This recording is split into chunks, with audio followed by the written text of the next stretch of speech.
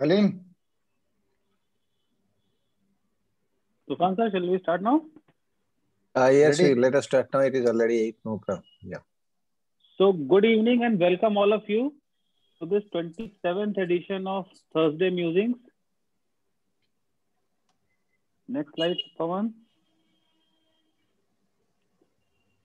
And let me introduce Professor Dr. Tofan Pati sir. He is from Cuttack.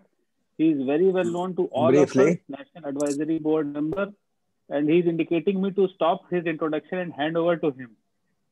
Uh, sir, uh, over to you, Tufan sir. Okay. Thank you, Aleem. Thank you very much. Next slide, please. Pavan.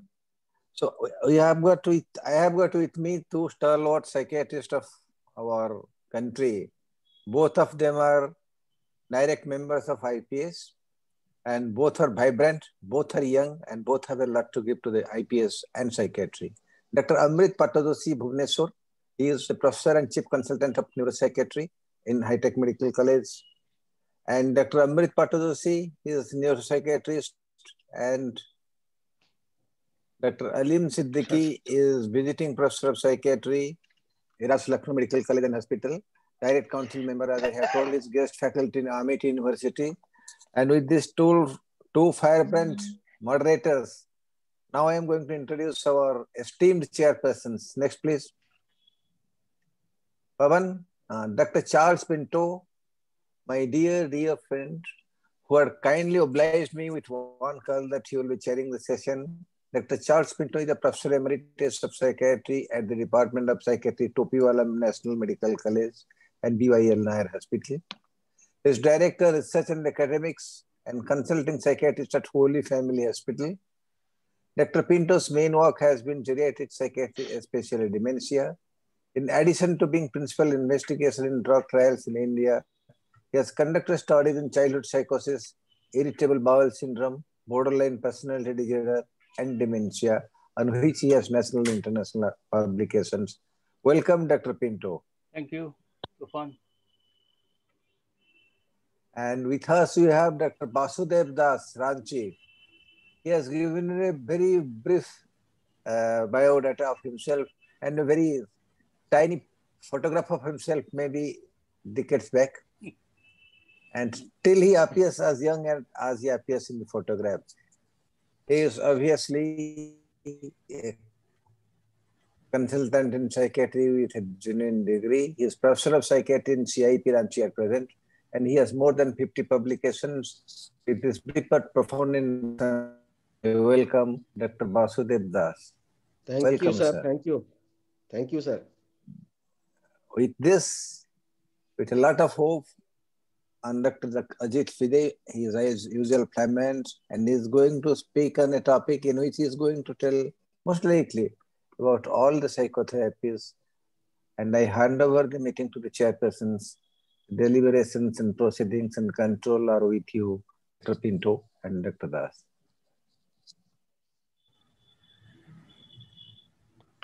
So thank you very much, uh, Dr. Tofan, for inviting me on this particular uh, master class on psychotherapy on Thursday Musings.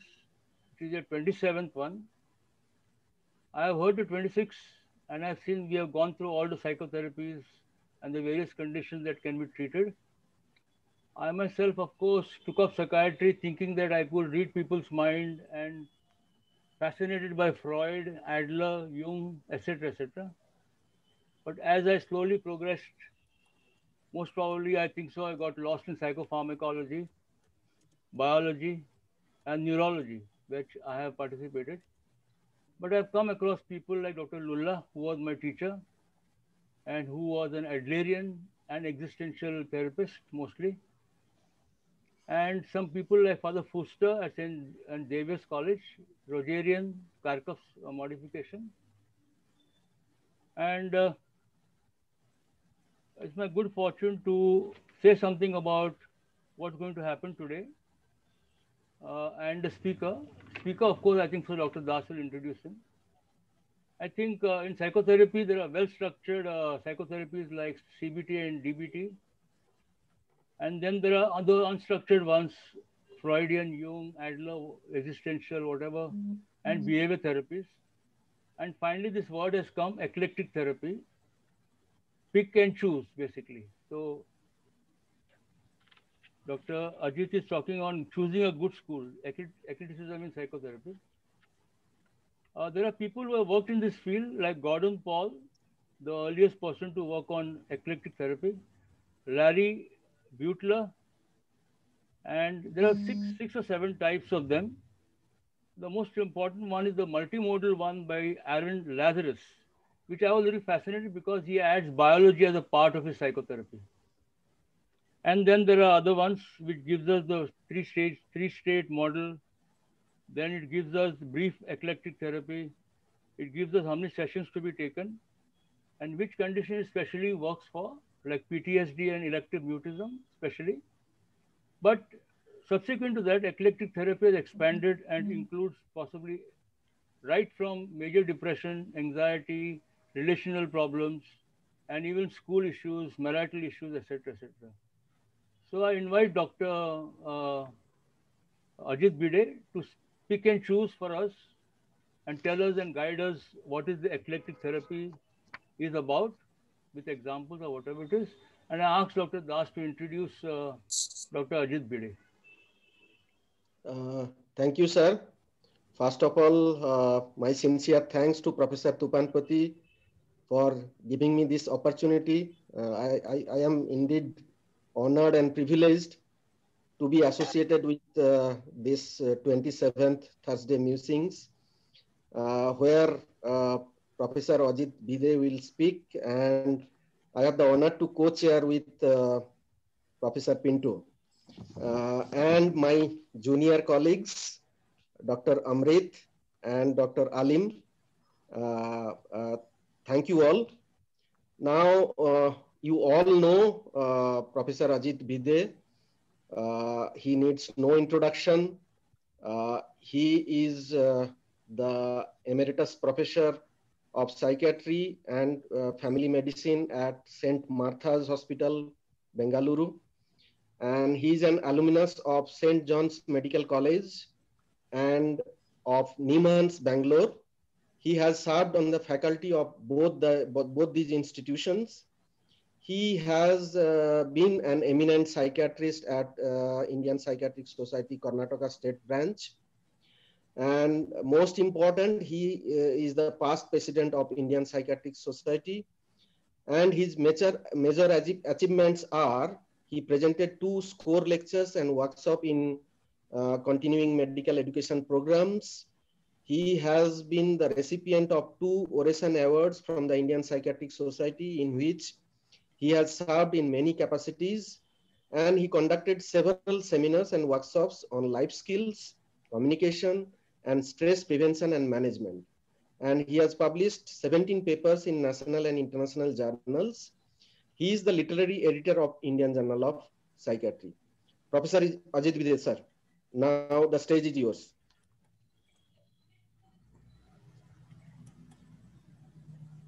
Thank you. Bhide, sir. Yes.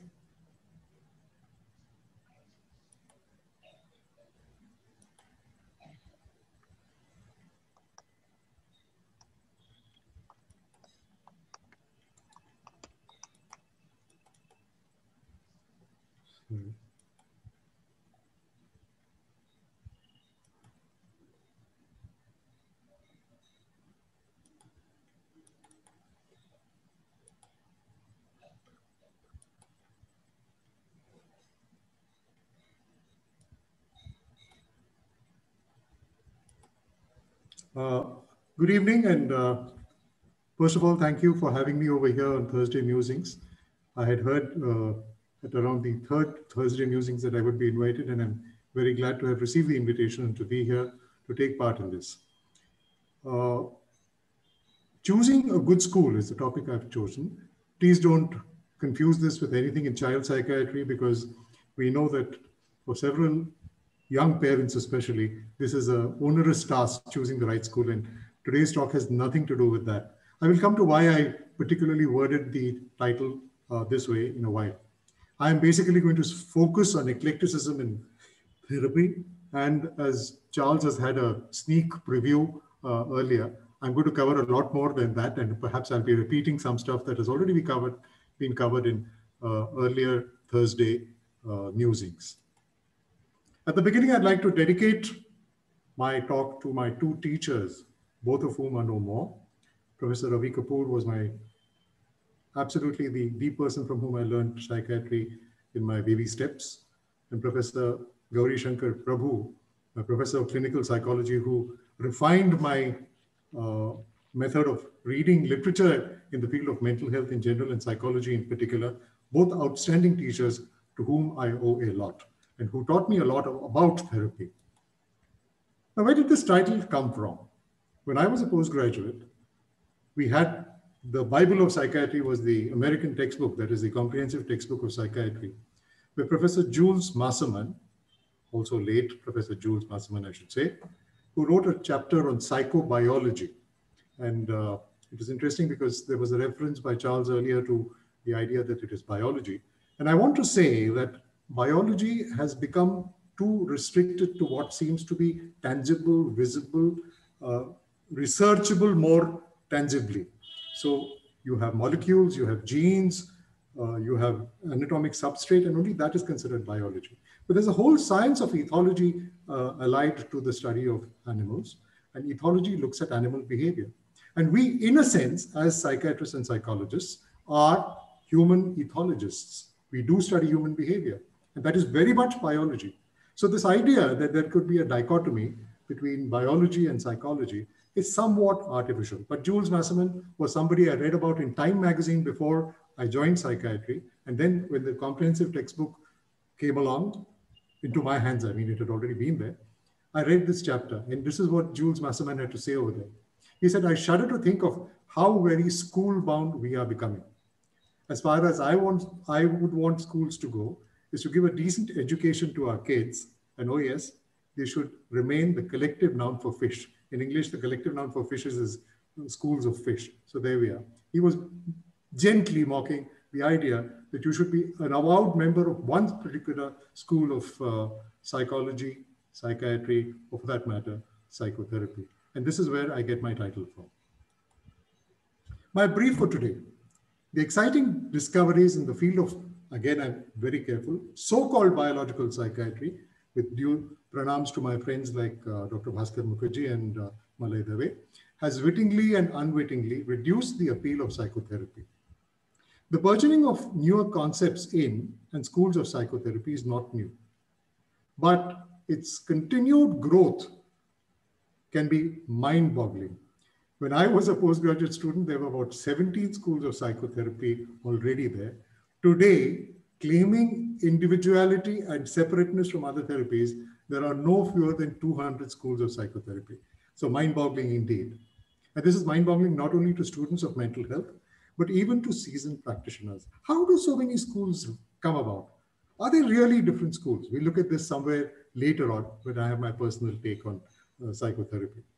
Today, I attempt to find common ground among many and seemingly varied systems of therapy and advocate an accommodative eclectic approach in ministering to mind's disease. Ministering to mind's disease, incidentally, is a phrase from Shakespeare, where when Lady Macbeth, wrongly accused of suffering from OCD, but she, she has actually a delusion that there's blood on her hands, related to a, culpable act of hers, cannot get rid of the imaginary blood. And uh, Macbeth asks the doctor in attendance, Canst thou minister to a mind diseased? So this is what we are doing most of the time, ministering to minds diseased. Most of us do already practice uh, eclectic approaches right now, but it is worth remembering the fractured and sectarian history of the practice of therapy in our profession. With due apologies to many friends who have a leaning towards psychodynamic and uh, psychoanalytic uh, forms of therapy, I will say that in the school of psychoanalysis, more than anywhere else, a sort of cult was established by one person, and then different cults grew out of that. Not at all unlike what happens in religious formations, that there is a minor disagreement, and you uh, separate out, you bud out of that main, main branch onto something of your own. Now, while most of us, as I mentioned, are practicing eclectic psychotherapy even now, it is worth remembering that we have a history where these things happen. And I'm going to allude to something in the course of my presentation, saying that again, there is a tendency to jump onto a certain bandwagon, which is not unlike the cults that were formed earlier. Let's uh, recall the famous words of the Spanish philosopher and writer George Santayana. Those who cannot remember the past are condemned to repeat it. And may this facet not attend on our lives in the field of mental health. I have a literary weakness, so I'll start with a poem to set the ball rolling. Pain gnaws into man, lacerating its claws. It's deposited like salt somewhere between the vertebrae. Shout something to the crowd? That's a lot of respect for cattle. Confess to a priest? Man doesn't believe in God. Confess to the wife? A pain inscrutable to her. Confess to the country? That's so immense it terrifies. And the psychiatrist walks in with a musketeer beard, warmly phlegmatic, faintly smelling of vodka. It's a Russian poem. I don't need to tell you that when vodka creeps in there. And though you tear your hair, he will listen for two hours to your woes and vexations, and all for two bills. Afterwards, he goes on foot through grimy lanes. There is more to the poem, but that is not really relevant to us. So the psychiatrist comes in, very willing listener and very compassionate and likely to want to help and likely to succeed to help. That is the spirit of this poem. When we look at psychotherapy, we see a lot of dichotomies or uh, classificatory uh, posits that are sort of one versus the other. The classifications of psychiatry could be in the form of re-educated or reconstructed. In re-educative therapy, we are getting somebody to unlearn everything that he has learned because that is causing some degree of uh, maladaptation, sometimes gross maladaptation. Or sometimes the personality itself is so warped, it needs to be altogether reconstructed. This dichotomy was given to us by Lewis Wolberg in his classic on uh, uh, textbook on psychotherapy. And uh, when I was a postgraduate, this was a Bible to go to when you had any doubts about issues in psychotherapy. Then again, we have directive psychotherapy and non-directive psychotherapy. When I was a postgraduate student, we were told that in India, non-directive therapy is not going to mean much. People come to you for advice. They want you to tell them what to do. That was indeed the truth uh, those uh, close to 40 years ago when, when I uh, started my life in psychiatry. Then again, there is the notion that there is growth-oriented therapy and healing-oriented therapy. Now, are these two necessarily mutually exclusive? To my mind, they are not, but one can predominate over the other depending on what the practitioner of the psychotherapy chooses as his modus operandi. Then again, you have short-term therapies and you have long-term therapy. Classically, psychoanalysis was something that went on not for just days and days, but weeks, months, years. And Freud's longest patient was with him for 27 plus years. And that is, that is quite a record. I don't know how much this actually reflects a sense of dependence. And that is a lurking danger in therapy that we render people quite, quite, quite dependent on us. This kind of dependence is warranted to a limited extent in uh, certain cases, but not for eternal life. But that does sometimes happen. And many of you who are in the field, not necessarily devoted to psychotherapy, might have noticed this that some people just cannot do without you. There was a lovely Hollywood movie also taken up by uh, Indian filmmakers called What About Bob? And this theme of dependence on a therapist was very well brought out, where the uh, person playing the uh, uh, patient is so enamored of the book he reads by a particular therapist, he enters into therapy with him and will not leave the therapist alone. He then pursues the therapist right to a point where he's on a vacation and having closely guarded uh, his uh, location at that time, having told everybody uh, that is close to him not to divulge where he is. our patient, played by very brilliantly by Bill Murray, finds a place and goes there. So that is a story of dependence that comes sometimes from long-term therapy. And sometimes long-term therapy seems to have been enshrined by people who are in the practice of psychotherapy, particularly psychoanalysis. Then again, if we look at two processes, there is the field of the intrapsychic self and there is the interpersonal self. So psychotherapy could focus on how to improve within yourself, how to look at components of your uh, psychic makeup. Naturally, the word personality comes to mind.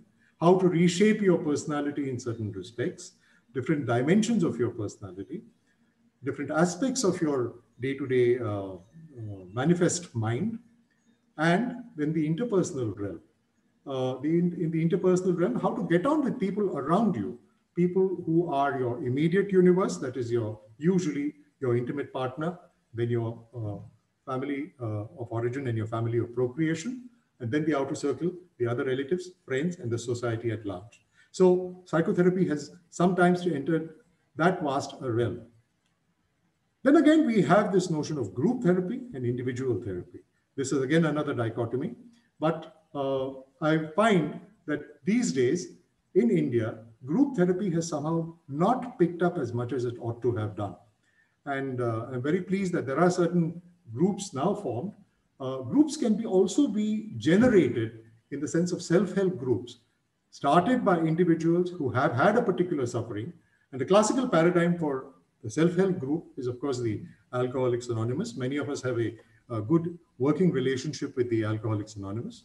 And there is individual therapy as well. It is very interesting that a young colleague of mine who is specialized in the treatment of borderline personality disorder now has both individual and group therapy with uh, borderline personality disorder individuals, both genders. And she is very particular that those who are in the group will not be personally, uh, they, their individual therapy goes on with a different therapist and the group therapy goes on in, under her uh, tutelage and guidance. Uh, many groups insist that it has to be a participatory member who has to be the leader of the group. And that leadership can shift from person to person. So these are all aspects of the dichotomies within the field of psychotherapies, what we might call the classification of psychotherapies. Until the 1960s, it was largely the psychodynamic schools of psychotherapy, hugely rooted in psychoanalysis, that ruled the roost. These were uh, practiced in all the uh, major uh, academic centers and in several uh, uh, hospitals such as the Menninger Clinic. And we are talking mainly about the US where these phenomena were studied in detail, or the Tavistock Clinic in the UK. And psychoanalytic and psychodynamic therapy ruled the roost. This pie chart that you see over here is from 2007. And you notice that there has been a sea change, something that was not known at that time cognitive therapy had now come up. Cognitive therapy had a uneasy relationship with behavior therapy for some time. And now, as we know, we hardly ever see cognitive therapy. We tend to marry the two and say cognitive behavior therapy. Uh, cognitive behavior therapy really is, uh, Charles mentioned in his uh, chairman's remarks, that uh, Arnold Lazarus. Arnold Lazarus is the man who's done a lot of work in the field of psychotherapy a psychologist, a, uh, sorry, a late professor of psychology, in fact, who first gave us the term behavior therapy. Uh, many students are not aware of that. They think uh, is the one. Yeah, Eysenck, no doubt, is a uh, votary of uh, behavior therapy, but the word came to us from Arnold Lazarus, who had a lot to do with eclectic therapy, though ironically, he never ever used the word uh, eclectic. Then there was the third force in psychiatry, Behavior therapists were totally disenchanted with what the psychoanalysts were doing. They said, you deal with a lot of mumbo jumbo. We are going to be totally scientific about it. Observable behavior is what is most important. Narrated emotions are the only ones that will count, and we will look at the congruity of those emotions. But beyond that, the intrapsychic self is not what we need to deal with. We will deal with manifest behavior. So that was a behavioral school. Here we had the psychoanalytic school, which relied a lot and it became more and more esoteric as Freud went along. And the budding of different schools of psychoanalysis took place from there. Uh, I, am even referring to analytical psychology and individual psychology as uh, under the broad rubric of uh, uh, psychoanalysis. The third force that came up said that there is too much of emphasis on science. The art of psychotherapy is being lost. And more importantly, the human touch, wittingly or unwittingly, is being sacrificed. And that gave rise to the humanistic school of psychotherapy. Among the most prominent votaries of that was uh, Carl Rogers, whom we will be seeing in some detail a little later. But there was also a humanistic school of psychology, uh, which had uh, several people who agreed with this notion that we need to be much more humane than we are managing with mere behavior therapy and uh, psychoanalytic or psychodynamic uh, therapy.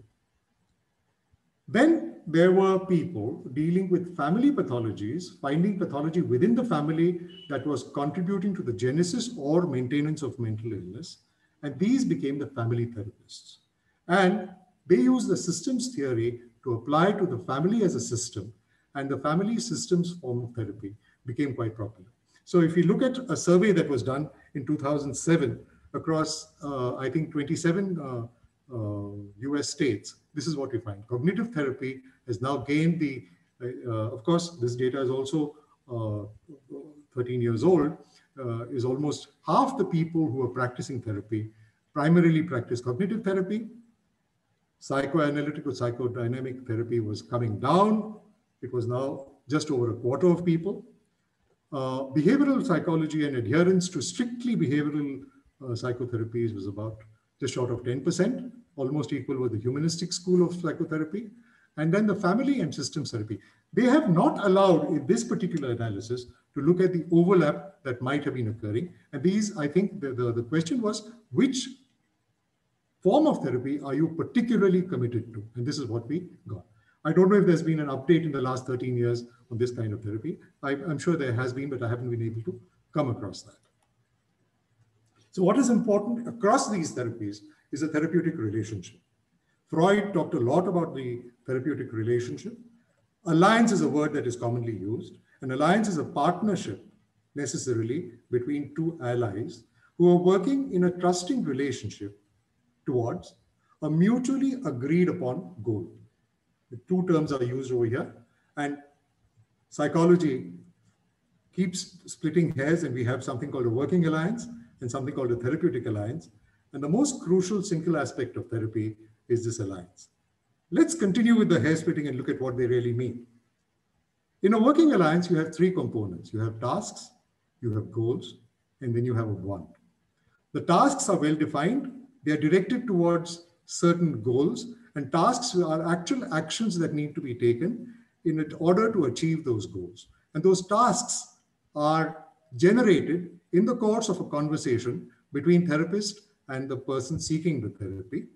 The goals are primarily defined by what the person who's seeking help has come with and what he wants to achieve in life or what he wants to negate in his uh, mental life. In order to do this, there has to be a bond, and these three constitute then the working alliance. This bond, really, and this is my own extrapolation, is what is called the therapeutic alliance. This bond, borrowing from uh, words used mainly by the humanistic school, there has to be a mutual respect between the two people.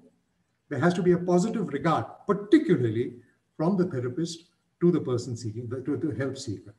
And this entails a certain degree of affectional transference of one's psychic energies to that person. And that phenomenon, which we know, is called transference. Transference has many variants. Transference is almost always accompanied by varying degrees of counter transference. Is the feeling of the uh, uh, help seeker towards the therapist. Counter transference is what the uh, therapist feels towards the uh, client. In psychoanalysis, great emphasis was placed on transference, and they carried it to a bit of an extreme where they believe that without transference, uh, therapy cannot progress. I think that is an overstatement if there, ever there is one. There are various other mechanisms that underlie transference, which Freud himself began to write on. And much more work was done on transference by his very brilliant daughter, uh, whose birthday we recently observed. Anna Freud uh, looked at transference, and she was the one who really gave the idea that transference is going back to your unconscious, it is something generated by your feelings for other authority figures in your life. And the therapist becomes now replacement for that authority figure. Now, when we look at psychotherapy, let's look at certain variables that determine how therapy would progress. Obviously, the person who is going to be a psychotherapist needs mastery of technical skills. And this takes place usually in a good training center over a period of time. But uh, from personal observation, I will say this much, that to train as a therapist, my getting through my MD was just a minuscule of what I have been able to do afterwards. The next 10 years after your qualification with a postgraduate degree are what really, to my mind, is the period when you master technical skills about how to proceed in therapy. Of course, essential to being a good therapist is the empathetic attitude.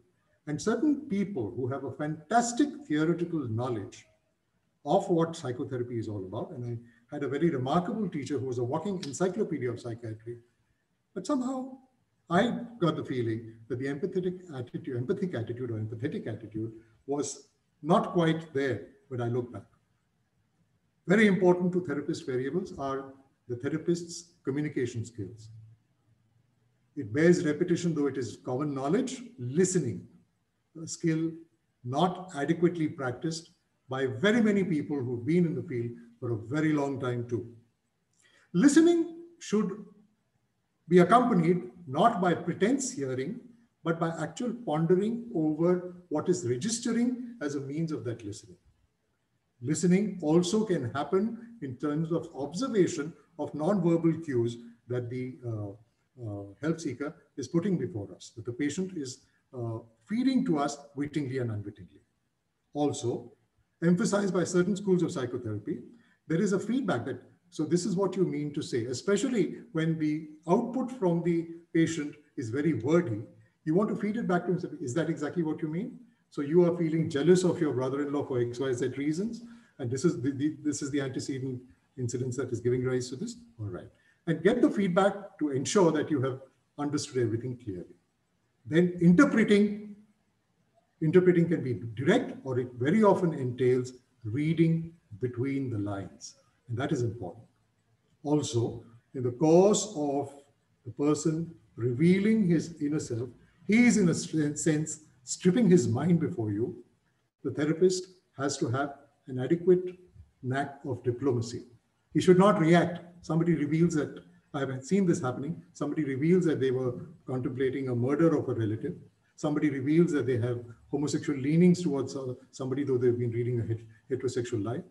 These are red flags that you should be aware of and handle with care. Very often, diplomacy is confused with uh, feel good lying. So, calling a, an ugly woman beautiful is not what diplomacy is all about. Diplomacy is much more than that an effort not to, especially at the first go, hurt the other individual who is seeking your help.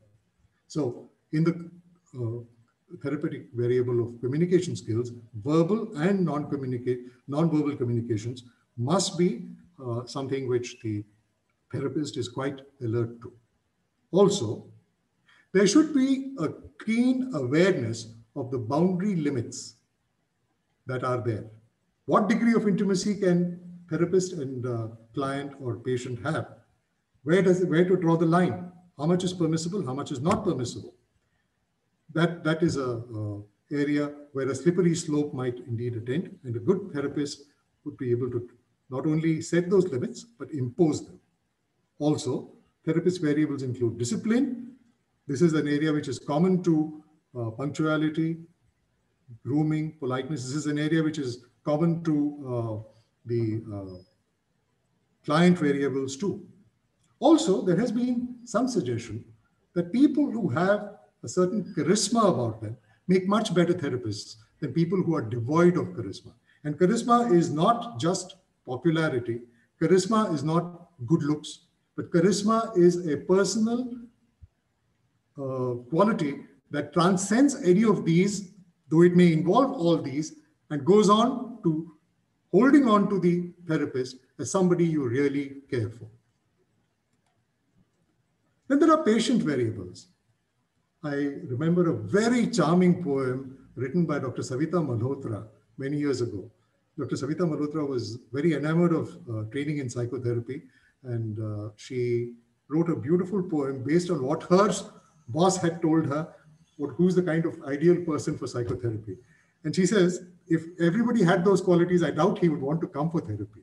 So one important quality among patient variables is charm.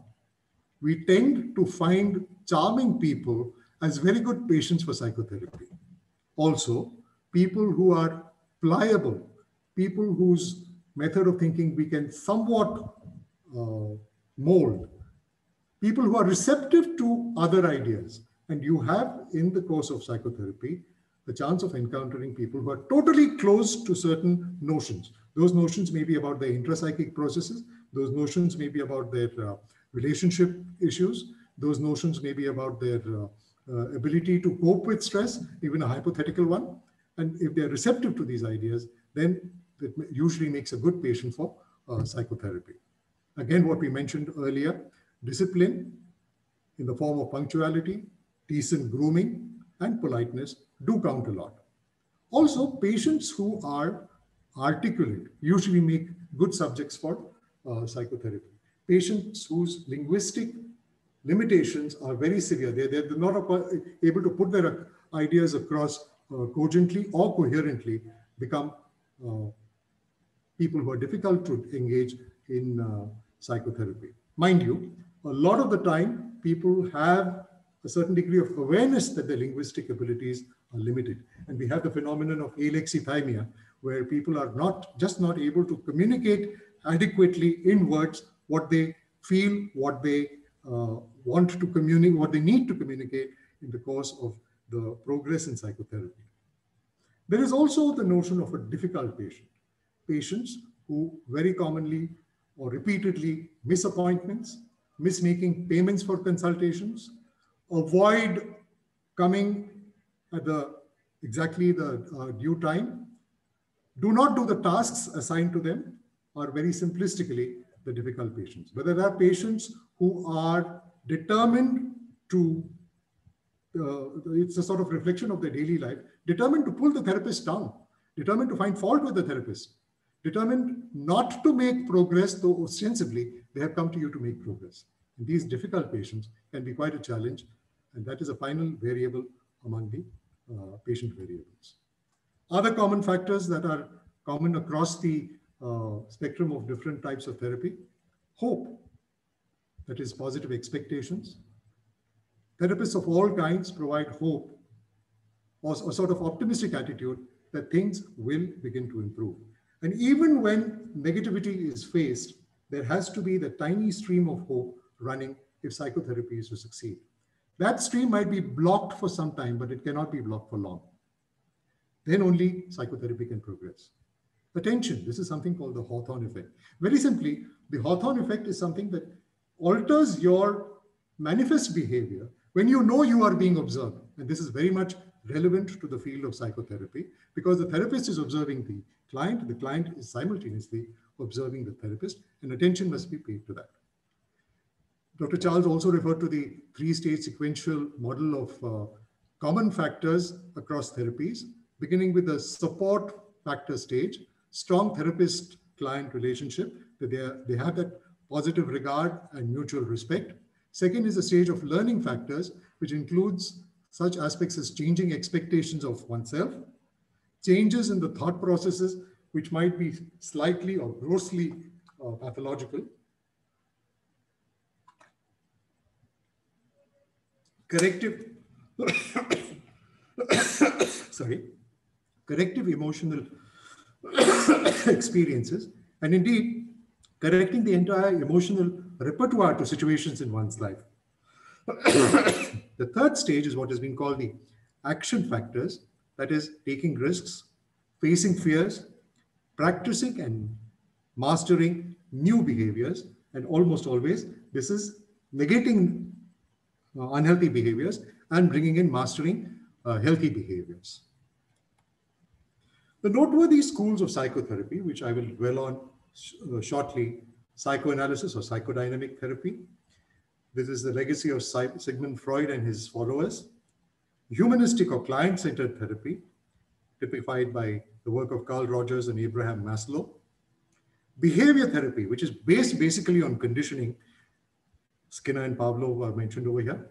Cognitive therapy, uh, changing one's style of thinking, one's content of thinking, and we give credit to Aaron Beck and uh, Albert Ellis, reducing errors in these processes, which will hopefully lead to reducing distress. Let's look at the analysts. You see a very, very stern Papa Freud over there. And uh, I think it is befitting that we have him depicted here in that same uh, sternness because he was a taskmaster. Sigmund Freud believed sincerely in all that he said, and he brooked no opposition unless it was substantiated adequately. Right under him, you see Carl Jung. Freud was very puzzled and to some extent troubled by the fact that he was a Jew. And most of the people who gravitated to taking up uh, his form of treatment of mental maladies were from his religion. So he was very thrilled when a bright young doctor by the name of Carl Jung, a Swiss Christian, decided to adopt Freud as his uh, guru in a sense. We'll have something to say about Guru and Chela shortly, but Carl Jung took up the cause of psychoanalysis. Eventually, he broke away because the methods of Freud, which necessitated total devotion and acceptance, and if you had to question him, you had to do it in a very, very meticulous, roundabout way with skills for conviction, uh, convincing uh, the uh, Papa about why you differed from him. Something which Freud's own da daughter the very uh, charismatic and uh, uh, charming Anna Freud did manage. And Anna Freud, it is worth recording, continued to have a very good professional relationship with most of the people who had broken away from Freud, including this other gentleman we see in the other corner. This is uh, Alfred Adler. Alfred Adler was a practicing doctor who had been befuddled by certain odd behaviors of people and he decided to study these behaviors. As he was studying these behaviors, he came across the work of Sigmund Freud and they got in touch. And Adler himself, a Jew again, uh, was taken up by Freud's notions about how the personality develops, taken up by the idea that uh, uh, there were different responses in the intrapsychic self to different situations and Adler started his own studies. But one thing, Adler, though he was of the analytical bent of mind, hated being called Freud's uh, uh, Anuyayi, his follower. And he always insisted that his was an independent school on its own. Somewhat more loyal, let's say, to Freud was this gentleman over here, Erik Erikson. Erik Erikson was a Swiss uh, uh psychoanalyst who gained a lot from interacting with Anna Freud and subsequently with uh, Sigmund Freud himself. And uh, he was quite flummoxed by Freud's other preoccupation. As we know, Freud was massively preoccupied with the psychosexual self and the psychosexual stages of development. And Erikson didn't quite uh, fall in line with that. So he developed other schema for understanding the stages of development, which I was very, very influenced by. Erik Erikson was invited by John Kennedy, uh, they, they, they, like the, uh, the uh, Ratnas of uh, Akbar's court, John Kennedy wanted to give great impetus to artists and intellectuals. And uh, I read this uh, speech which Erik Erikson gave at the White House when he was invited by John Kennedy called The Eight Ages of Man. And I think that's some, Seven Ages of Man, which I think we should go through as a good exercise in observing things and not merely going by mumbo jumbo that I feel a lot of uh, Freudian theory really was. For example, the anal stage, the uh, Electra complex, the Oedipus complex, the, uh, the forces of Eros and Thanatos. All, all, these are very fancy and appealing, but not quite science, but we'll come to that a little later. And then we have over here somebody who could be a fairy godmother or the ugliest witch with curses on her lips all the time. This is Melanie Klein. Melanie Klein was actually a school teacher, very observant about children's behavior, very keen to change children's behavior, of course, for the better. And she went about it in, she had both these personas, that of a uh, very benign motherly figure, willing to give in, and also a harsh disciplinarian. So that was Melanie Klein. These are some of the typical analysts. But before we are accused of falling prey only to Western notions, let's look at some analysts of Indian origin. Uh, we have over here Girindra Shekhar Bose, the great doctor who observed human behavior among different classes of society. Freud, for all his concern about humanity, hardly ever dealt with the lower segments of society. And Girindra Shekhar Bose actually had a small little uh, room where anybody was welcome, provided they booked their time and came. And his fees were highly variable, being close to zero at times, because he wanted to encourage people. He also was very enamored of uh, Freud and his ideas, particularly the notion of the unconscious. But he did away with the couch. He said a table and chair is good enough for people to sit down and have a chat, uh, uh two chairs and across a table. That uh, we know that even today the table has also been done away with with more psychodynamic uh, setups, but that, that's where we were. Then we have the great Sudhir Kakkar. We had him come and address our uh, conference a couple of years ago. Sudhir Kakkar was an engineer who was very taken up with the uh, psychological mechanisms and psychological operations and psychological maladies. He didn't call them illnesses, he called them maladies. And he studied these in great detail, principally on account of the fact that his aunt, his mother's sister, was a great devotee of psychoanalysis. And that is what caused Sudhir Kakkar to gravitate towards uh, psychoanalysis to begin with. Afterwards, he did great work on his own, and he's a very, very popular author and very readable author, and very simplifies the notions of psychoanalysis in an Indian context quite uh, well. We also have, I've had to include Indian origin. I was corrected by a friend, uh, not to say Indian analyst, is the great uh, Salman Akhtar, who has also been uh, faculty at many of our uh, gatherings. And Salman Akhtar is a practicing psychoanalyst, uh, an alumnus of the PGI Chandigarh. And I understand it's again because of Professor Savita Malhotra that his interaction with Indian psychiatrists gained great, great impetus. Almost every year in some part of the country, you have Salman coming across and talking to us about good things in the mind, bad things in the mind, unconscious motivation. He's written a wonderful book that I recently read that is on guilt, how to understand guilt and how to deal with guilt in a clinical context. So these are the uh, uh, analysts of Indian origin. Then we have the behaviorists, much indebted to the recognition of reflex behavior in animals. Ivan Pavlov set out to be a priest, was totally disillusioned with religion, gave it up almost overnight, went into medical school, joined medical school and excelled over there in physiology, and then decided that he is going to observe how certain behaviors are automatic. And he was the one who gave us uh, an insight into reflex behavior.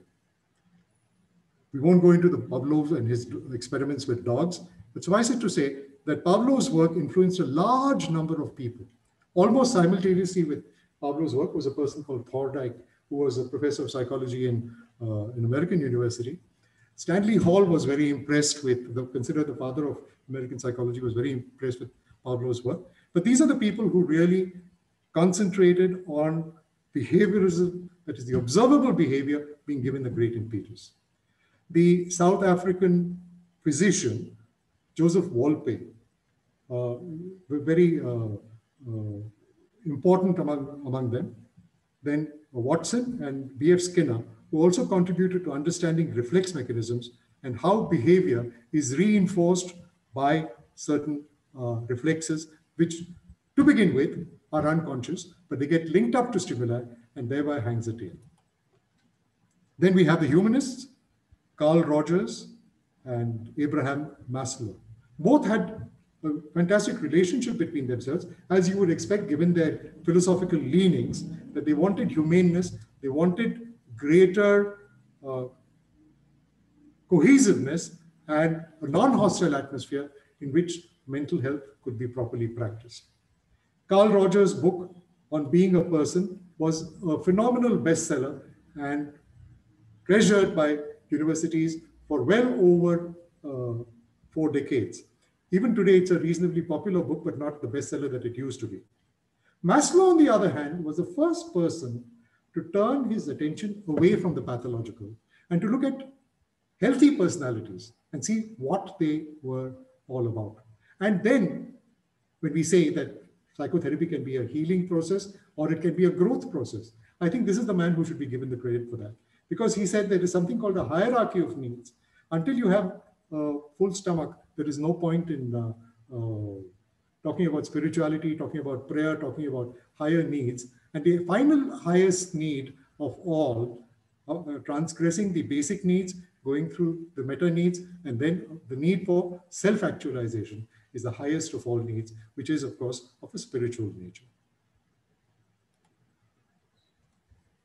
Then we have the cognitive and realistic schools. A person I was very, very taken up a few years after my qualifying in psychiatry is uh, William Glasser, who is nowadays hardly mentioned in any literature. William Glasser founded what is called the realist, uh, realistic school of uh, psychotherapy. Uh, his ideas are somewhat akin to the other two gentlemen whom you've obviously, most of you would be quite aware of, that is Aaron Beck and Albert Ellis. Uh, Aaron Beck, of course, we credit with having brought to us cognitive therapy, uh, which is so immensely popular, though I'm not sure necessarily properly practiced or understood. And Albert Ellis, who had actually had practically the same ideas much earlier, gave us what he initially called rational therapy, then change it to rational emotive therapy. And both of them, Beck as well as Ellis, had their schools of thought marry with behavior therapy, and they became cognitive behavior therapy and rational emotive behavior therapy. Other psychotherapies are there by the plenty. I'm just quickly going to run through them. Interpersonal therapy, the uh, outcome of the work of Harry Stack Sullivan, who believed that interpersonal processes determine your psychological well-being to a great extent. He gave us the concept of the significant other. Social rhythm therapy, which is really about disciplining yourself and seeing that your biological rhythms are disciplined. And the two are very often combined together. Mindfulness-based therapy, which is akin to mindfulness meditation, though not entirely synonymous with it. Mentalization-based therapy, which is concerned with mental processes that underlie pathological behavior, particularly with regard to Uh, emotional instability. Family therapy, which looks at family mainly as a systems unit and needs correction within it. Dialectic behavior therapy, acknowledgedly an offshoot of behavior therapy, incorporating a lot of humanistic principles, though Marsha Linehan, who is the advocate of this therapy, personally, I have great quarrels with dialectic behavior therapy because I find that it incorporates almost anything that comes along from playing the sitar to yoga to meditation. Everything is accommodated in dialectic behavior therapy. But uh, I, I, must say that I'm impressed with what Marsha Linehan done because very for a very long time we were thinking of borderline personalities as people without hope. Now dialectic behavior therapy has also been applied to a variety of other therapies. Gestalt therapy, not to be confused with Gestalt psychology entirely, because Gestalt therapy was the outcome again of humanistic uh, school, and it was started by Fritz S. Perls, who wanted a friendliness to pervade therapies altogether.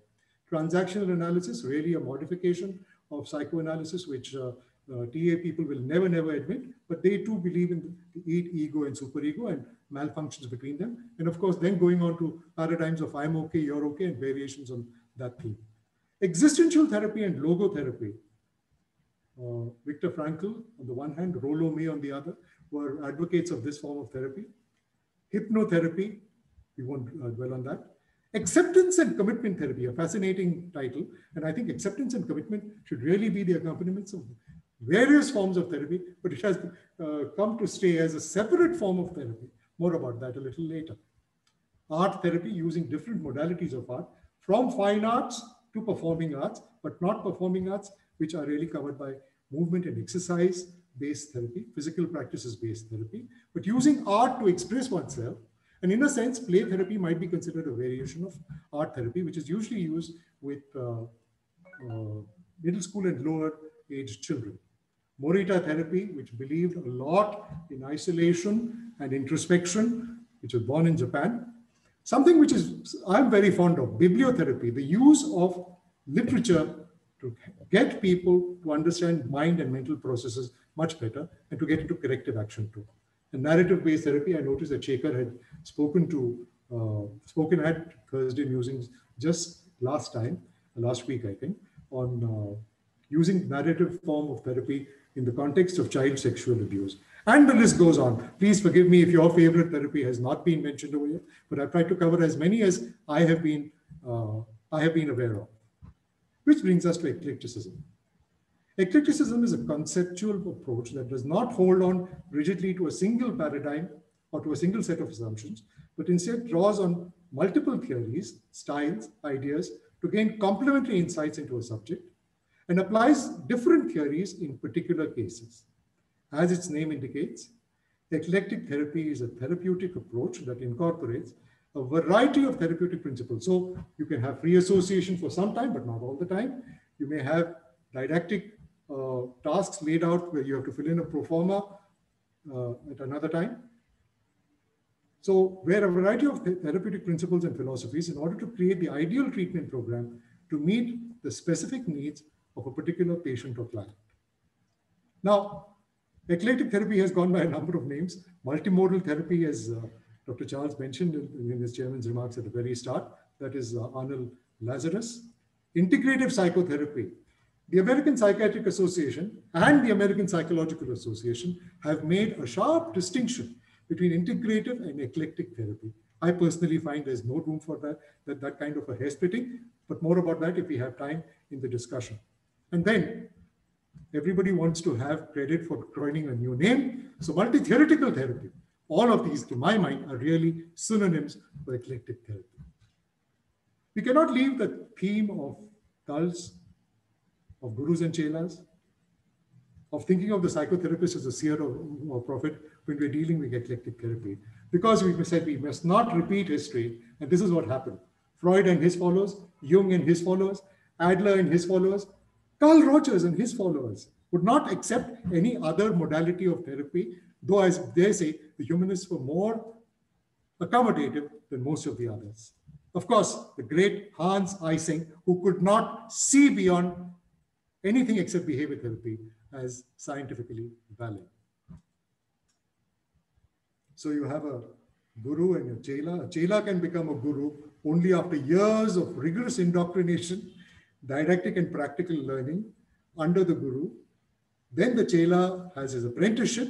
It is only then that he is ready to be turned on his head and he becomes a guru, as beautifully brought out in this uh, cartoon by Dr. Avinash. So, another time, another place.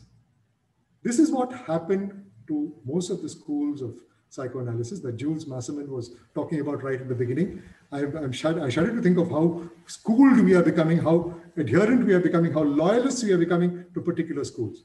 We have Gautama Buddha, we have Prophet Muhammad, we have Jesus Christ, and we have Shankaracharya. Seers, prophets, that's what these people were. They gave religious doctrines, they gave religious uh, education, basically emphasizing morality, moral rectitude, and uh, uh, avoidance of deliberate evil. That, that, that, that is a common tenet to all these. What happened to psychotherapy, especially after Freud landed in America, was something like he became like the Lord over here, uh, Lord Jesus Christ giving a sermon on the mount, or Buddha giving uh, uh, his bhikkhus their sermon, Muhammad talking to his disciples, Shankara talking to his disciples on the banks of the Narmada. These are exactly the kind of paradigms that began to translate. So they became cults. Cults are religious or quasi-religious groups that have a dedication to beliefs with one or a few core ones, core beliefs. They are often unusual, quaint, and difficult to prove. And like the existence of God, difficult to prove, even worse, difficult to disprove. They are well organized, hierarchical, and authoritarian. We have in Hinduism this notion of mats, and in Karnataka we call them mathas, and you have the head of a matha who should never be questioned. Those are called the mathadipatis. Cults tend to be highly cohesive, often are hostile to non-members, and the worst fate awaits those who begin to question these core beliefs or authority. We have seen this happening over and over in various uh, religious fora. Unfortunately, the same thing has happened in schools of psychotherapy. Luciano L'Abate, uh, Italian trained American psychologist, wrote wonderfully about this cults and psychotherapy, identified three magical cults, I haven't the, uh, the details over here, and five corresponding dogmas in clinical psychology and psychotherapy that are now accepted on faith. You jolly well believe in it. If you don't, then you're out. Determine most of the current practices, this, this, this statement was made by uh, L'Abate in his uh, book, I think in uh, 2007, 2004, sorry. Apparently, both critically and normatively accepted cults are believed and considered as the main, if not the sole ways to improve maladjustment or even deal with psychopathology. That is the most unfortunate thing that, was, that happened. The influence of these cults, L'Abate goes on, is by now so pervasively ingrained in our clinical, evaluative, preventive, and therapeutic practices that to propose otherwise is akin to being viewed as a traitor, risking alienation from the mainstream establishment of clinical psychology or psychotherapy. The dissemination and implementation of evidence-based psychological treatments has contributed, according to other authors, uh, but quoted by L'Abate, substantially to the legitimacy of these cults. So evidence base has been used and abused much more than we really, really realize. Just to lighten the moment, here is a, a doggy analyst who says, my therapy is quite simple. I wag my tail, lick your face until you feel good about yourself again. Does remind you a little bit of humanistic school? I wouldn't blame you. There has also been a recurrent distinction between counselor and psychotherapist at the end of almost 40 years of being in the field, I find that this distinction is not really rigid. Counselor somehow is a uh, slightly infradig. Psychotherapist is uh, not infradig, is, is the superior being, but we leave it at that. So this is the distinction I found. Short-term solutions, long-term solutions, action and behavior-based, uh, whereas this is feeling and experience-based.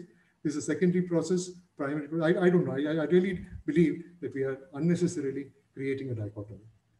Gains from differing schools and some negatives also we'd like to mention. My own practice has taught me a number of things to appreciate in psychoanalysis and psychodynamic therapies. Most importantly, defense mechanisms, recognizing them, healthy, unhealthy, and neutral defense mechanisms. The very notion of the unconscious and the subconscious mind is something which I treasure. Transference and variations on transference, including countertransference and positive and negative transference developmental stages, and I'd say not the Freudian developmental stage, including the oral, anal, and so forth, but the Ericksonian stages. Importance of early experience, duly emphasized by uh, uh, Freud to begin with, and many others. Introversion, extroversion, notions given to us mainly by Carl Jung, sub substantially expanded on by the behaviorist, ironically, uh, Hans Eysenck many years later. Complexes, the superiority complex, which always has an origin in an inferiority complex, something which we do encounter in a clinical situation uh, given to us by Alfred Adler, and also from Adler, the tendency in a large SIP for your position in the birth order to determine certain attributes of your personality. I find this quite useful. But there are negatives. That's why the thumbs down over there. Psychodynamic school is actually the most doctrinaire of all. Hum kare so kaida, hum kahe so kaida. Fanciful and speculative notions masquerading as established science. I already mentioned that there was a search on, would you believe it, for the anatomical basis of the Oedipus complex. Now, nothing can be more pseudoscience than that. Psychopathology derived from single case studies. Freud's entire thesis on paranoia is based on his reading of a book review and then the book of an autobiography by Judge Schreber. And I think to extrapolate from one study, intense though that study might be, is not quite on. When you read Freud, it is very, very interesting literature. But then literary merit drowns the scientific rigor. G.K. Chesterton, the English wit and writer and uh, avowed uh, adherent of Catholicism, said, said this, reflecting Catholic uh, sentiment, psychoanalysis is confession without absolution. In the Catholic Church, one way of getting rid of the miseries of your wrongdoings is to go for confession. And the priest gives you a method of overcoming your guilt by uh, offering you absolution through certain practices or prayers. And that is called absolution. G.K. Chesterton, who had a personal acquaintance with Freud, after studying whatever was available to him at that time about psychoanalysis, had this to say. Behavioral schools, basically the reward within inverted commas punishment, because it doesn't always have to be punishment. So some systems of aversive conditioning do use punishment. Basically reinforcing healthy behavior. Phasic response graph, systematic desensitization. We mentioned Wolpe. Wolpe was really the father of this method of uh, slowly getting used to something of which one is afraid or one is averse to over a period of time from an image to an from an idea to an image to an actual object that is how you get over it and i find this quite useful classical and operant conditioning of course operates quite a lot in our daily lives and with our with our patients the great thing about behavior therapy is not to labor too much over cause but to energetically pursue symptom removal or at least symptom reduction Cognitive and realistic schools, recognition and correction of faulty cognitions. Here, are, here is an arbitrary list of uh, cognitions, arbitrary inference and selective abstraction, overgeneralization, personification, magnification and minimization, labeling and mislabeling, and dichotomous thinking. These are classical uh, faulty cognitions that need correction in the course of cognitive therapy. My uh, enchantment with William Glasser and his work with reality therapy, where they focus on action, behavior, control, and focus on the present. That, that, that was the great lesson of uh, William Glasser for me, that focusing on the present has become such a preoccupation with many of the later schools of psychotherapy. It, it, it, it gave me great uh, uh, impetus to pursue this because not to be stuck with the past. But there is a caveat to that, which I'll come to later when I speak about my personal takes. And then you have a series of uh, black and white thinking uh, uh, kind of uh, mental setups. This is the rational emotive therapy that Albert Ellis, Albert Ellis advocated. Here, here are the 11 irrational beliefs challenged by REBT. Basically, to look at grays and not think only in black and white. From the humanistic school, unconditional positive regard. And this school best avoids making any judgmental uh, statements or uh, uh, having judgmental attitudes. Empathy is maximally emphasized in the humanistic school. They also talk about genuineness and the incongruence between one's self-concept, one's actual experience creates problems and mental distress and even mental illness. Focus on the present and the future, not on the past as uh, Rogers repeatedly emphasized. And from Maslow, the fulfillment of lower needs is necessary to, for, for anybody to aspire to and rise to higher needs. This is what uh, Rogers said about 40 years after he had been in uh, the process of teaching therapy. In my early professional counseling, actually, in my early professional years, I was asking the question, how can I treat or cure or change this person? Now I would phrase the question in a different way. That is, how can I provide a relationship which this person may use for his own personal growth? And that relationship is with the therapist, mind you. So which type of psychotherapy is best? Saul Rosenzweig, I hope I got the spelling right. I'm not very good at German. Uh, I'm not good at German at all, uh, confession. Uh, basically states that more than 500 different kinds of psychotherapies are all equally effective. Reminds you of a statement from Lewis Carroll, which says, everybody has one and all must have prizes.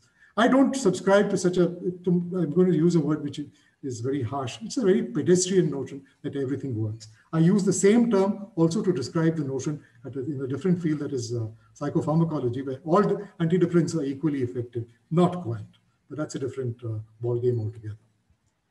So I go to my favorite Sanskrit, and I quote a Subhashit over here from the Bhartrihari, which says, Dadi maduram madhu maduram, draksha madura sudhapi maduraiva, tasya tadeva hi maduram yasya mano yatra saulagnam.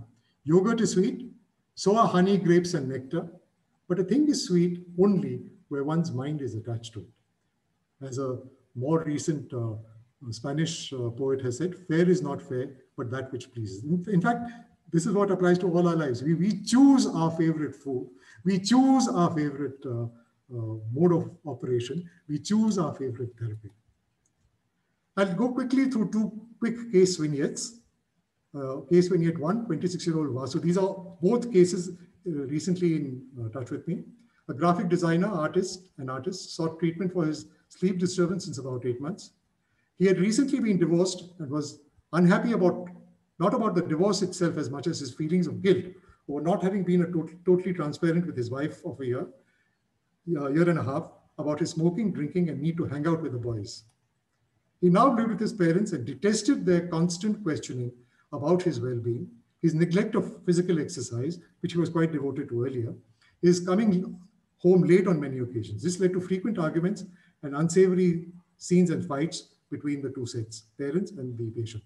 On two occasions, he had come close to deciding to end his life, but the thought of his parents' plight and the shame they would have to face kept him from attempting suicide. Very recently, he had increased his intake of liquor and was increasingly drinking alone, something which is usually a bad sign for anybody on alcohol.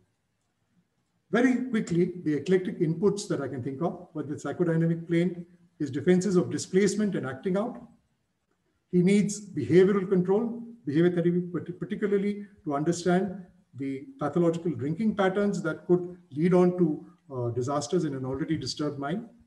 I could detect no faulty cognitions in this particular case, but then from the humanistic perspective, his care for his parents' plight in the context of his suicidal plans was a very uh, good, uh, positive thing that he had about him, which needed much reinforcement and strengthening. My second case is a 47 year old widow, Gina, the mother of two adult children, both living abroad, who kept brooding over the demise of her 53 year old husband owing to a rapidly progressing cancer that caused him to become progressively weak and then became emaciated. He was gone within four months of his diagnosis, and neither child could be here with her owing to the pandemic. She would constantly be riddled with feelings of guilt about not having done enough for her spouse but could not state where she might have better helped him. When Gina's son came down for a few months after her husband's death, he had to practically force her to come for psychiatric help. She was tearful, morose. She was bordering on the mute. It was difficult to get a word out of her, and disheveled and poorly kempt, which was not her normal personality. Here, the eclectic inputs are the psychodynamic, again, unhealthy defenses. She is in denial and distortion of her abilities to deal with the situation. Cognitive dis Cognitive distortions are here in the form of personalization, labeling, and overreaching. And in terms of reality therapy, a practical sense of needing to move on. If I might get personal, the personal take of an eclectic therapist, bandwagons change over time. In my postgraduate days, it was community psychiatry. Today, I hear CBT being bandied about left, right, and center. मैं पूछता हूँ what kind of therapy would you engage in? CBT is the glib answer. Today, when I hear CBT being pushed like a panacea, like a cure-all for everything, I quite often cringe. A quest that many troubled patients come with is to have it acknowledged that life has not been quite fair to them. This need is not quite often even recognized. Now, I mentioned that preoccupation with the present, don't go to the past. The be here and now approach, emphasizing the present and neglecting or even debunking the past, is not always correct. A term that I've grown to like is toxic nostalgia. I got this from an autobiography of a psychiatrist by David Viscott. The number of patients who do not want prescriptions, but they want therapy, is geometrically increasing since the turn of the last century, is my personal observation. And let's face it, training in psychotherapy is quite inadequate in very many centers. The personal take of, an, uh, of this therapist is that therapists are human. But our clientele expects perfection of us. Look at the Rubik's Cube that is confused in three people over here. The doctor who comes out is expected to be perfectly formed.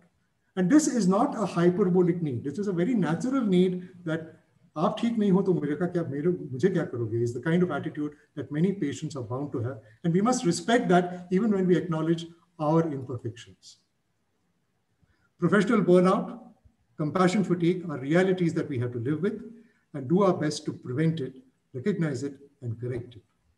Doctors are the most overworked professionals in our country. I've said this a number of times, especially when I held uh, respectable office, and nobody is doing anything about it. I mean, nobody in people in powers that be. I believe every doctor, especially the young doctors, I'm referring especially to young qualified doctors and senior postgraduate students, need at least 24 hours off on a week to keep their mental apparatus in fit state. Confession, I don't have any statistics to prove any of this, though these are my contentions. How do these various schools evolve? A young Western trained therapist, after successfully practicing, begins to find limitations of his original school. He finds loopholes in it, gains new insights, in incorporating these new insights and removing the loopholes, he integrates the whole into a new therapy and a new brand is born. This is quite the story of Dr. Aaron Beck, who was initially very enamored of psychoanalysis, practiced it in seven years. He started seeing things going wrong in uh, psychoanalysis, that it was too full of fancy, and he evolved cognitive therapy Witness the marked overlap between the neurotic, neurotic and pathological defenses of psychoanalysis and the faulty cognitions of cognitive therapy. Is it all old wine in new bottles? No other field of work or study lends itself to droll, mocking, and sometimes what might seem offensive humor as much as psychiatry in general and psychotherapy in particular. But I believe we are seasoned and we learn to laugh at our own profession quite well. And that does us some good when we don't react in a hypersensitive fashion as some of us do. The best byproduct of the practice of therapy is the gaining of personal insights and then of personal growth. I can vouch for this for myself. Having checked with colleagues in my younger days, there is a high that ensues from a good session of therapy.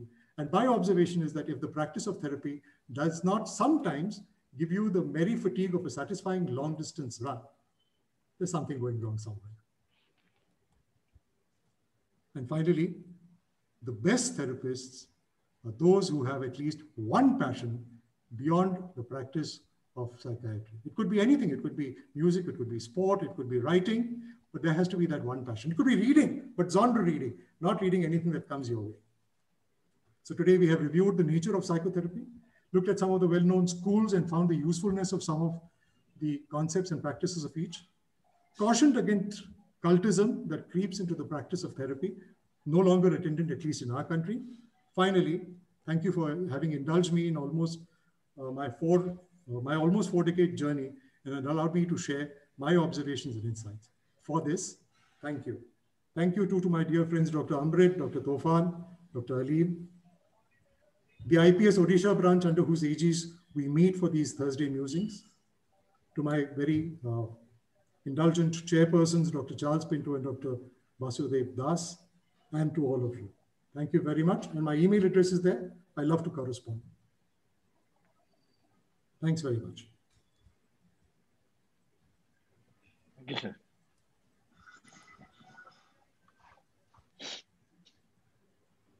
So thank you very much, uh, Dr. Ajit Bhide, for your poetic and charismatic narrative of all the psychotherapies and what is eclecticism and eclectic therapy to end with.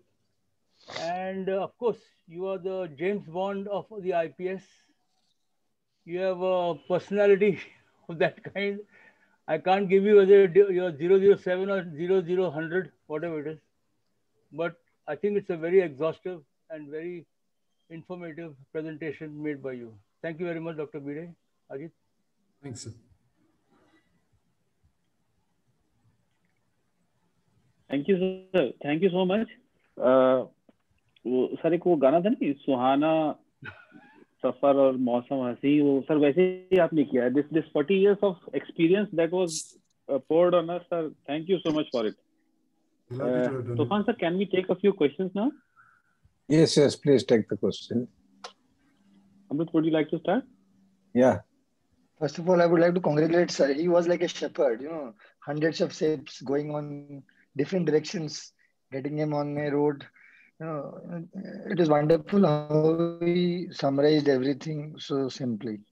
First of all, let us uh, ask Dr. Basudev, sir, you want to add something or, or we'll go for the question and answer session, sir? Uh, yes, thank you, Professor Bhide. only you can do it. Uh, it was such a difficult job uh, to cover up all the psychotherapies in a particular session. And you did splendidly. It was uh, uh, like it, it should be very helpful for the postgraduate trainees, I believe, that uh, to know about the various schools of psychotherapies and their uh, nuisances to come out with uh, eclectic uh, approach. thank you once again. now, Amrit, you can take up the questions because we don't want to waste any further time and whatever time is left should be utilized uh, by the wisdom of uh, Professor Bhide. Yeah, Dr. Bhide was talking about cult cultures coming into psychotherapy. We have one question from a very senior psychiatrist, Dr. Subhas. Is religion a form of psychotherapy, or better still, is psychotherapy a religion? Uh, psychotherapy is as much a religion as as a, as a generic. Okay? Uh, psychotherapy is not a religion uh, adherent to any set principles because we have been talking about eclecticism. So psychotherapy can replace religion in many minds because people take recourse to religion to right the wrongs of their lives. Very, very commonly, going to a holy text or having a holy man give sane advice to set things right. So there are huge commonalities between religion and uh, psychotherapy, but to equate the two would be a, a little uh, extrapolation that is not called for. Uh, another question. Uh, sir, Amrit, Amrit, please. Yeah, go, carry on, Amrit. Yeah. So, so I was very much one interesting concept you talked about Morita therapy. You know, because you, see a lot of uh, so you see a lot of our patients going to you know Kerala, going to places you know places where they are at peace, where they're with nature, where, where, where they actually I don't know whether they feel good about it or they don't feel good about it, but the whole concept of going there makes them feel good. So you know they're very expensive places. You know they, they love to go there one month, one and a half months and, gradually we also see a lot of people you know after the pandemic going to nature you know for healing process so why is this therapy not very popular and why it is more popular in japan uh, I think you need to investigate that. I, I, really haven't an answer, but I think there are a lot of people who do take recourse to that, and people going to ashrams where there is a salubrious environment very often serves very much the same purpose. The other important ingredient, which I did mention of Morita therapy, is silence. And keeping your thoughts to yourself can sometimes do a lot of good, provided it is in a designed fashion. That you're not suppressing thoughts, but you're for some time containing yourself within. That is an important component of Morita therapy. Of course, oneness with nature, not spoiling nature is the other component of Morita therapy. And I remember from one of Woody Allen's movies where uh, uh, uh, go-getter type of person in an office, uh, he's not had the kind of success he wants. He tells his, tells his boss, "I'm going to go for therapy." He said, "Go take a break. Go for a go for a vacation. That's all you need." And I think uh, that, that that is immense wisdom uh, that emanates in that particular context, Amrit.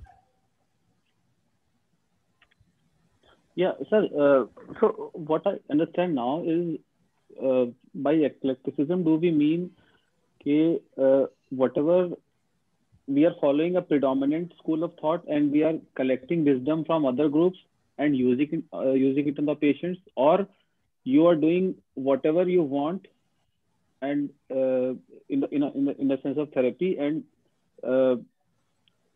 taking up things steps as you evolve. So is there a structure in this eclecticism or it is totally unstructured or what is it Eclecticism provides you a platform to uh, invite various inputs. For example, those two vignettes that I had to quickly uh, uh, incorporate, uh, there are dynamic factors over there. There are uh, cognitive factors in one case. There are humanistic factors in both cases that have to be accommodated. Now, you have to have tasks and goals and the bond that we mentioned in the context of the working alliance. Those have to be clearly spelled. With those spelled, you can modify and choose from one of the schools. To, you may take a behavior therapy uh, paradigm for particular tasks. You may take a psychodynamic uh, uh, model for uh, another task, and so forth. Within that much, you uh, leeway is given to you within that framework that you have a well-defined tasks, well-defined goals, and only within that you can manipulate. When, when you use a phrase like uh, "you can do what you like," it's a little dangerous because I've seen sometimes uh, when I was a senior resident in uh, NIMHANS, there, there were uh, certain uh, residents who were really doing what they wanted and closeted with a patient for long enough to justify their having been absent from other work to be taken up. Now, this kind of thing is something you have to guard against. Sometimes, unwittingly, therapists engage in banter, in social conversation, just to make a patient feel comfortable. That might serve a minuscule purpose to begin with in establishing rapport, but that becomes a major thread of uh, interaction. And that is really a waste of time, especially for the patient, because he's the guy who's going to eventually pay the price for it. It is also not wise for the uh, therapist if he's unwittingly being engaging in that. And uh, uh the uh, uh, bonhomie that is generated is not nearly enough to solve the problems that are at hand. Okay, sir. So, so, so uh, इसको ऐसे बोलें कि we are sort of converting a two dimensional structure into a three dimensional structure by adding various viewpoints we are looking at the problem from various angles and whichever is suitable as per the therapy we are taking right. it up you might be governed like i said in the sanskrit subhashit you might be uh, I, I lean towards uh, humanistic and reality therapy more than the others but i also find great value in certain psychodynamic principles. So when I see a particular case and the defense mechanisms come bubbling up to me as they very often do, then I'd focus on those. In a particular case, I know that this person uh, needed proper disciplining in his early life and the lack of that has caused it, I would go to a behavior therapy model. Depending on each case, you will have to you'll have to cut your coat according to your cloth as the cliche goes. Sir, and on the negative aspect, suppose I don't know a certain uh, part of therapy, and so since I don't know, I shift to the other thing. So, uh, do people use eclecticism uh, to uh, hide their gaps in the knowledge? So, big, big, big words are always a good way of getting away. To that extent, it might be true, but I think that is not being really eclectic. That is being lost in a dark room. So, I think in, in, in such an instance, if you're not able to make a headway, it is sensible to take the opinion of a fellow professional who might have better insights into that particular case. Instead of saying that, इसका तो मुझे पता नहीं क्या करना है मैं उससे मीठी मीठी बातें करूंगा और छोड़ दूंगा Sorry, I should not break into Hindi. I, I know I'm from the south and it's resented over here quite a bit, but that's that's what it is. Okay, thank you. So मीठी मीठी बातों से बचना जरा is the song you'd like to think of it. There was one important question that came up, uh, which really strikes me, is somebody who, uh, uh, Subhash Pradhan asks, should psychotherapists be undergoing psychotherapy before giving psychotherapy? Yes. I yes. think that's such a, such a wonderful yeah, yeah, yes, question. Yes, sir. It is such a wonderful question. And this is advocated in most training centers where the, the, the when psychotherapy is being taught, each of the people learning the, the uh, process is also undergoing a process himself of being governed. Uh, Freud emphasized this in one of his uh, more readable and sensible, all of all, Freud is entirely readable, but he emphasized that you cannot be a psychoanalyst without having undergone psychoanalysis yourself. It's a different matter that in our country, the first uh, child psychiatrists uh, were people trained by people who did not have a qualification in uh, child psychiatry, but they were uh, they were grand dames of the field anyway, Dr. Savita and Dr. Shobha. That's how child psychiatry came about. But somewhere you have to make a start. Now, ideally, anybody undergoing training in psychotherapy or wanting to be a psychotherapist should undergo psychotherapy himself and un, uh, uh, unmask himself to a supervisor. But all this is generally recorded in some fashion.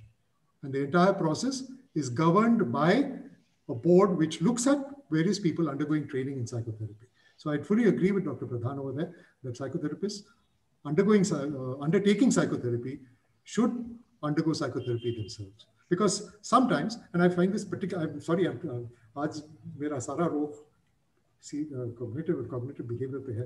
I find people with such warped cognitions trying to administer cognitive behavior therapy. I, I'm not negating the usefulness of cognitive behavior therapy. But I think you have to get your house in order before giving advice on uh, housekeeping. Perfect answer, sir. sir, we have a question from Dr. Bhavesh. Uh, sir, for identity crisis and when personality isn't formed completely, maybe because of some psychiatric disorder, maybe we have intervened little early, what type of therapy you should go for and how? The question Dr. Bhavesh is very little. Bhavesh, uh, nice to see you. Uh, can you, I'm not sure I got the question. Bhavesh, can you ask the question yeah, yourself? Can, can we have him ask the question? Possible? No. Yes, sir. I, I'm unmuting him. Bhavesh, bhai. Bhavesh, unmute.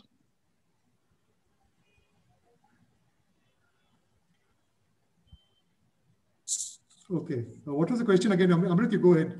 Read me the question. I can't see it. Yeah, yeah sir, sir. He's asking that, uh, so one minute. For identity crisis, sir, mm -hmm. and when personality isn't formed completely, maybe because of any psychiatric disorders, what type of therapy you should go for and how? It's a little. Uh, I think this is a quasi-psychotic kind of state of yes. that degree of disturbance. So I would not rely only on psychotherapy, though I think what we should be aiming for is reconstructive therapy, which is also insight oriented.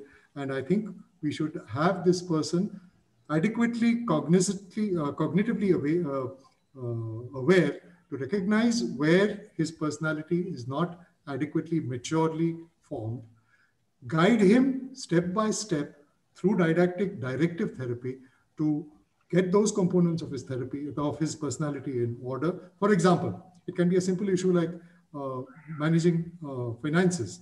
It can be a minor issue like getting on with other family members in the house. Over here, one, one uh, favorite uh, uh, psychotherapy that I did not mention in passing, psychodrama can be very, very useful. Role playing can, can, can, can be a good strategy in helping such people and having them do go what I call a video technique where they show different behaviors like a video director and take the best take of the lot, replay it over and over again so that that is properly reinforced in their subconscious. That, that helps a lot. Bhavesh, did I make sense to you? Please say yes. I told yes. So, so Dr. Subhas has asked another question that is a little controversial maybe. Does psychotherapy really work? With the exception of CBT. Do we have evidence and what are the limitations of psychotherapy research?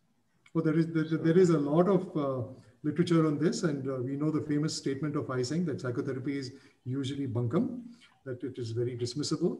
Uh, I think uh, Eysenck and Rachman were the people who gave this notion to us, Uh, if I'm not mistaken, in the early 60s. Subsequent work has clearly shown how will you measure the effectiveness of psychotherapy? If maladaptive behaviors, maladaptive emotions, maladaptive interactions have gone away or at least been reduced, I would say psychotherapy works. So there is enough literature to suggest that different forms of psychotherapy with different patients have worked. Independent researchers not practicing a particular form of psychotherapy have looked at this.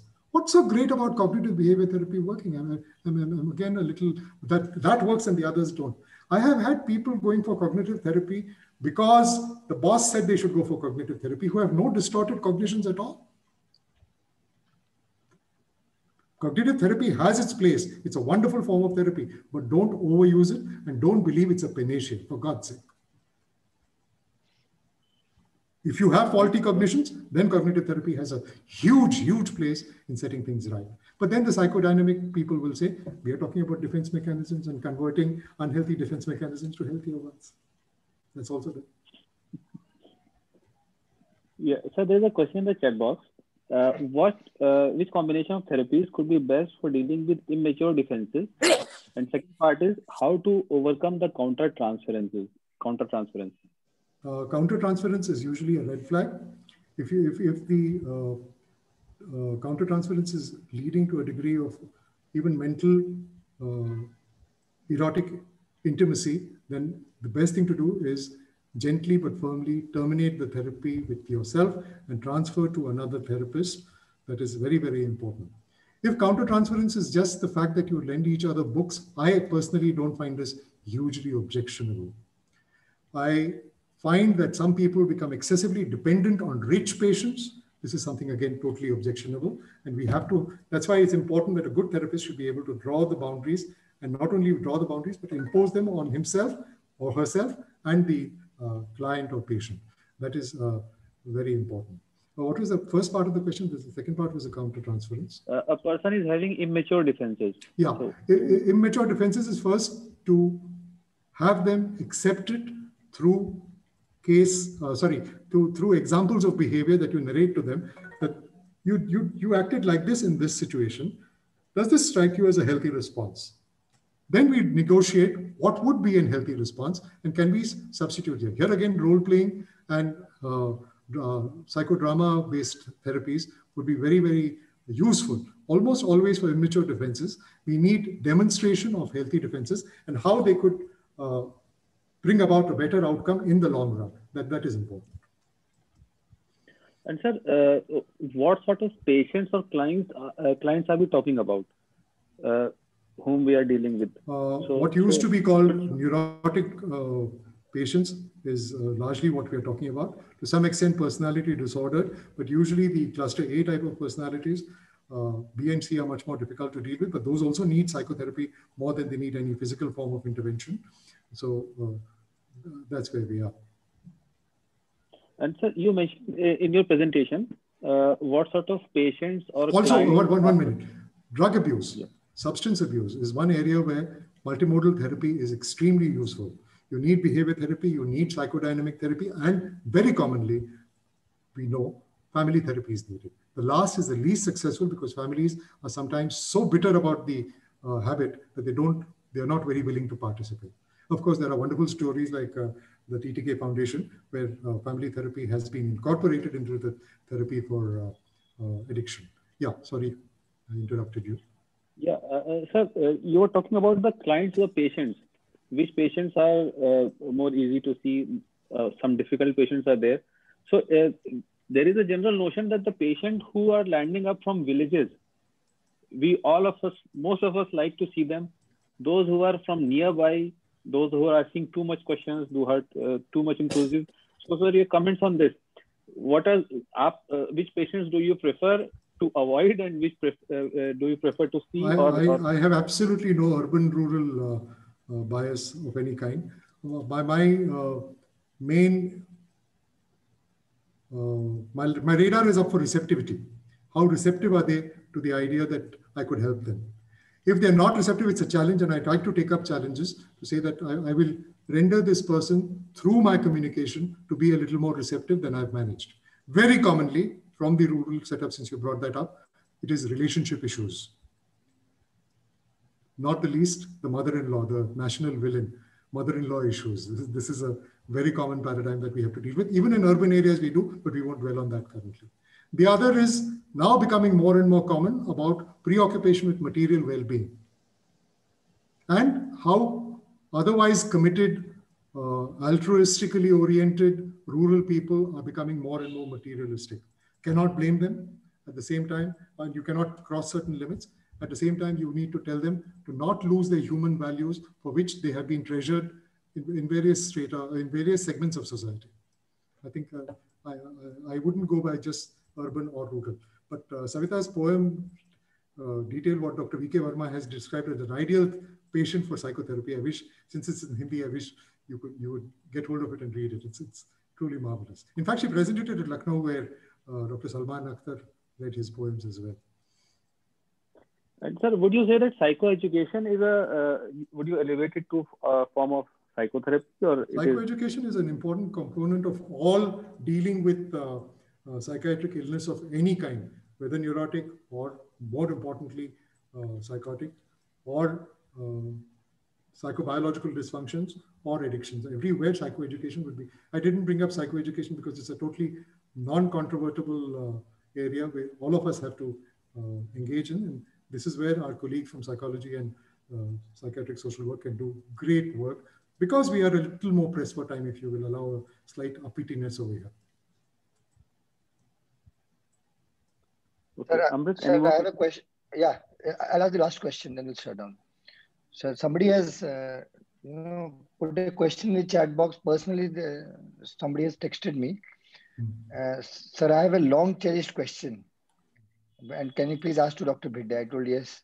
So can a bad human being make a good psychotherapist?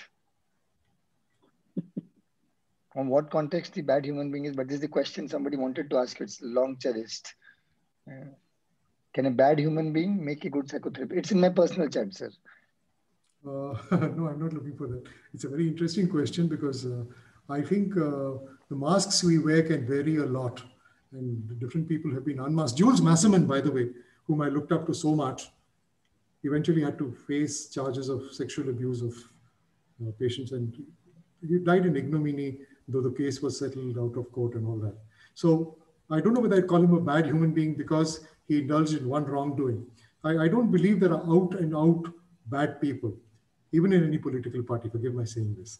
Uh, I, I, I believe that everybody has the potential if they're willing to दर्पण को देखा तूने जब जब किया सिंगार दर्पण को देखना जरूरी है to check with yourself about where you need to change and then you can become that much of a good human being I don't know what the question really, the questioner really implies. It's an intriguing question for me, and I would love to engage in a dialogue with this individual who's asked this very searching question about can a bad individual be a bad individual? I, I don't know if it's immoral, immoral in, in, in his sexual life, but uh, very good as a father to his children. It does happen.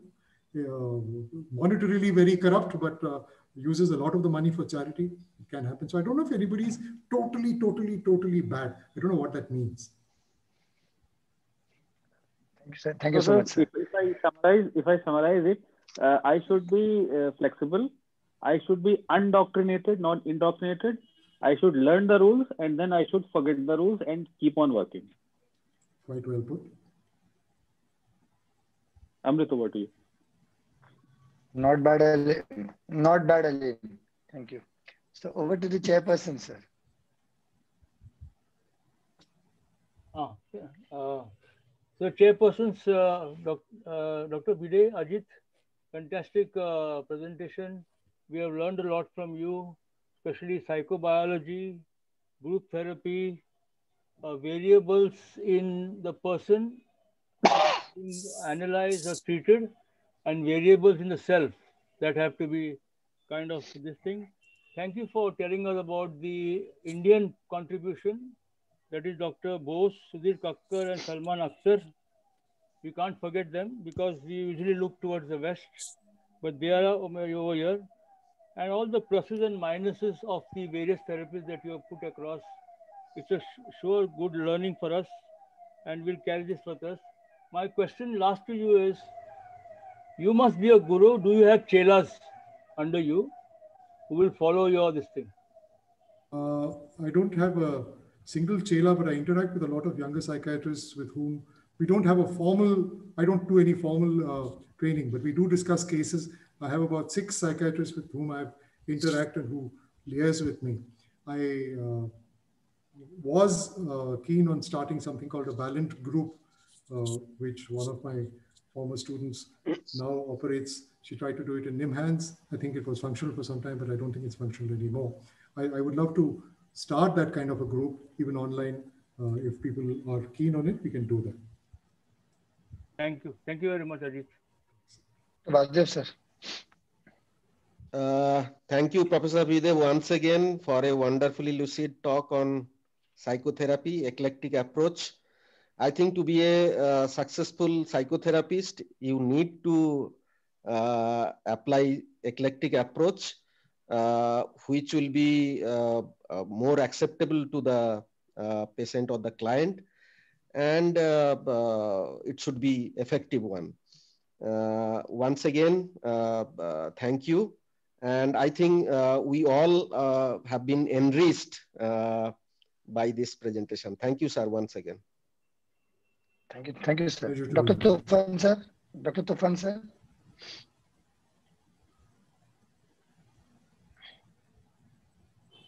Uh, sir, please unmute sir, yourself. Please unmute yourself. For your, thank you, Ajit, for your nice presentation. Quite enriching. I have to make two only simple observations. As I feel, all of us are in some way eclectic eclecticism is there in all our approaches. When you see a patient, not only the psychodynamic schools or different schools of psychotherapy, or biological school, everything comes to our mind, which forms the construct, which writes the prescription. It's different that one can, uh, we mostly go in for writing prescription, but if there is some amount of un unknown eclecticism, all the approaches. Think Akbar when he for Ilahi, it was a eclecticism only. But in a particular case, in eclectic uh, psychotherapy, I believe a person has to be quite profound in different methods of psychotherapeutic schools.